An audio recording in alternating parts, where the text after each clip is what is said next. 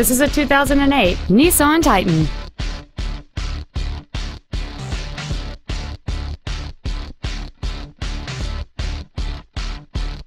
Its top features include keyless entry, variable speed intermittent windshield wipers, a premium sound system, commercial-free satellite radio, a low tire pressure indicator, an anti-lock braking system, and this vehicle has fewer than 38,000 miles on the odometer. This Nissan has had only one owner and it qualifies for the Carfax buyback guarantee. Please call today to reserve this vehicle for a test drive.